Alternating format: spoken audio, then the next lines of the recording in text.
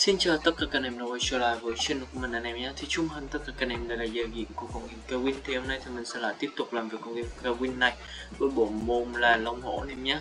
Thì mình vẫn sẽ tiếp tục với series bắt bại với Long Hổ về con game Kawin này Để hướng dẫn cho tất cả các anh em về những cái công thức cũng như là những cái thuật toán mình phát hiện được về những cái lỗ hỏng ở trên game để anh em có thể khai thác vào và kiếm tiền để có một nguồn thu nhập phụ cùng với mình ở trên con game này anh em nhé. Đặc biệt là anh em học sinh sinh viên thì anh em sẽ có những cái mức vốn nó tầm nhỏ, tầm trung anh em ơi, là tầm 1 triệu đến 4 5 triệu gì đấy đấy anh em. Thì anh em hãy xem video của mình và nó sẽ có một cái tầm nhìn để cho anh em có thể là hiểu hơn về game ha. À, cái đầu tiên là hiểu hơn về game và cái thứ hai là có thể kiếm tiền được trên con game này ha anh em. Anh em phải hiểu thì anh em mới có thể kiếm được tiền trên con game này ha. Ok thì nếu như anh em nào muốn trải nghiệm con game này thì có cái đường link ở phía dưới phần mô tả anh em nhấp vào đó và tải về. Khi tải về thành công em tạo ra khoản nạp bất kỳ. Em sẽ nhận được gift code nạp đầu bằng cách là nhấn vào à, gửi cái ID bên góc trái màn hình và group telegram mình để phần mô tả là được ha. Còn bây giờ thì mình sẽ vào luôn con game long hổ nha anh em. Mới vào không biết là cầu gì đây anh em ơi ui lại cầu mới à. Bữa giờ thì mình à, mình vào mình à, chưa thấy cầu cũ anh em ơi. Ừ, thôi kệ đi. Cầu mới thì mình đánh cầu mới luôn cũng được ha. Cầu này long hả anh em? Hôm qua thì mình cũng có lên một cái video về cầu mới ấy. Thì uh, cái video nó như sau anh em ơi. Tức là uh, nó cũng là hình cầu mới luôn và mình cũng lựa chọn phương pháp đánh đứng ngay từ cái tay đầu tiên nhưng mà cái tay vừa rồi anh em có thấy gì không? Thì con long nó ra 4 nhưng mà con hổ nó lại cố tình ra ba. Để cho con long nó chiến thắng thì tay sau anh em cứ đặt long cho mình nhé. Đây là một cái lỗ hỏng của con game này, anh em xem thử nó có đúng hay không nhé.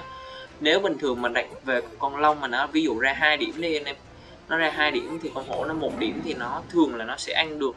Nhưng mà cái tay này thì nó đang không chuẩn. Tay này đang không chuẩn thì mình sẽ đợi tiếp thử là tí nữa mình sẽ test lại cái lỗ hỏng này cho anh em xem nhé tức là ví dụ con long nó ra hai nút đi anh em nhưng mà con hổ nó chỉ ra một nút thôi. Hoặc là con long nó ra con đầm.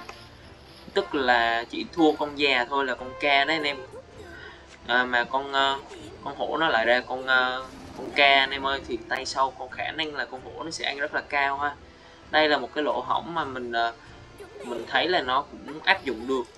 Để mình xem thử mình đợi uh, tí nữa không biết là có cầu nó về hay không thì mình đánh vào cho anh em xem nhé còn bây giờ thì mình vẫn tiếp tục đánh đứng về hình cầu này thôi. Đang hiện tại có thể là cầu 21 hay cầu 11 thì mình chưa biết được anh em ơi. Ôi dồi cầu này cầu 11 rồi.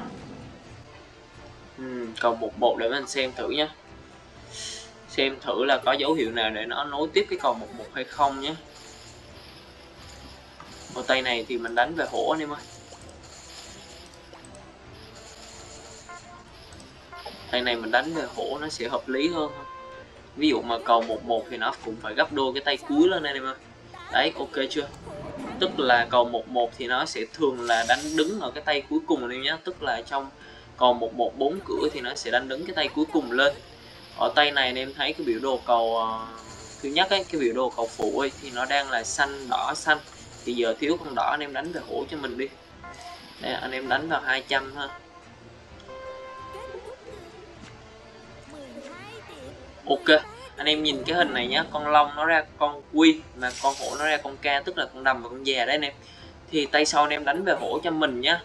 Cái này thì à, mình cũng chỉ mới test thôi, nhưng mà mình thấy cái lỗ hỏng này là nó sẽ giúp cho anh em có thể chơi được. Tức là nếu mà nó ép nó ép để chiến thắng đấy, nó ép để chiến thắng thì cái tay sau á, cái tỷ lệ nó nghiêng về cái con mà được ép ấy anh em. Ví dụ như con long nó về con đầm đi à, con long nó về con đầm mà con hổ nó về tới con ca luôn thì cái khả năng nó ép về con hổ để con hổ chiến thắng là rất là cao. Bây giờ tay này nó về cầu hò thì mình vẫn tiếp tục mình đánh về con hổ thôi. Không biết là nó có đổi cầu hay là xáo trộn gì hay không. Mà mình sẽ quyết định đánh về con hổ luôn em nhé.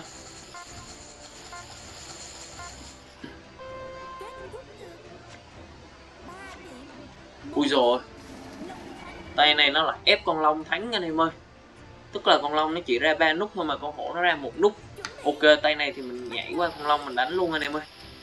Chắc có thể là tay cầu hò phía nãy thì nó sẽ làm cho ảnh hưởng về cái cầu. Mà anh em để ý cái biểu đồ cầu thứ nhất đấy anh em. Nó đang hình là cầu một một. Mà con long thì nó cũng đáp ứng được cái cầu màu đỏ luôn. Rồi. Mình lại không biết thì ờ, cái lỗ hổng này nó thực sự là chưa chuẩn xác lắm hay là do hình cầu này. Cầu này chắc là mình sẽ đánh về hổ thôi anh em ơi.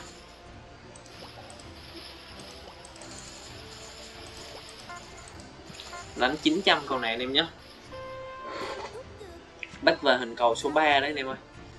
Hình cầu uh, biểu đồ cầu nhỏ thứ ba thì nó đang là cầu 12 thì phải anh em ơi. Mình đánh vào cầu 12 thôi. 12 thì con này về long đấy. Con này về long anh em ơi. Thì tay này mình đánh về 200 con long này. Nếu mà thắng thì mình chốt lại luôn anh em nhé. Ở video này thì mình đang nói về cái lỗ hỏng để cho anh em biết là ừ là nó có một cái lỗ hỏng nhỏ như thế thì không biết là nó có đúng hay không ha. Nhưng mà hôm nay thì mình đang test hai tay thì vào. Nó chưa có check ha anh em, nó chưa có check là nó có thể đúng hay không. Tức là có video á, hoặc là có hình cầu thì nó có thể đúng, nhưng mà có hình cầu thì nó có lẽ là nó không đúng. Thì ở cái kiểu như thế này thì anh em cần uh, quan tâm thêm những cái yếu tố ờ, về hình cầu khác anh em nhé. Và cũng như là những cái yếu tố ở trong cái ờ, biểu đồ cầu ấy anh em. Nên là anh em đừng có tin vào một cái lỗ hỏng nào quá. Đấy mình thì mình hướng dẫn cho anh em để anh em có thể xem thử. Để anh em biết được là nếu mà cái hình cầu đó ví dụ như cái cầu vừa rồi đấy anh em thì tức là nó ép ra. Nó ép ra để nó tránh cái việc là xử lý cái cầu này nó bị lỗi đấy anh em. Tức là nó ép về cái hình cầu 12 là nó về chuẩn hình cầu 12 và nó không. Dù cho cái con bên kia nó có ra cao như thế nào thì nó vẫn về chuẩn cầu thì anh em sẽ đánh theo đúng thuật toán của nó thôi. Ok, và hẹn gặp lại tất cả các anh em trong video sau nhé. Chúc tất cả các anh em xem video của mình vui vẻ và cũng như là nếu thấy hay thì cho mình một like, một chia sẻ ha. Bye bye, hẹn gặp lại tất cả các anh em trong video sau nhé.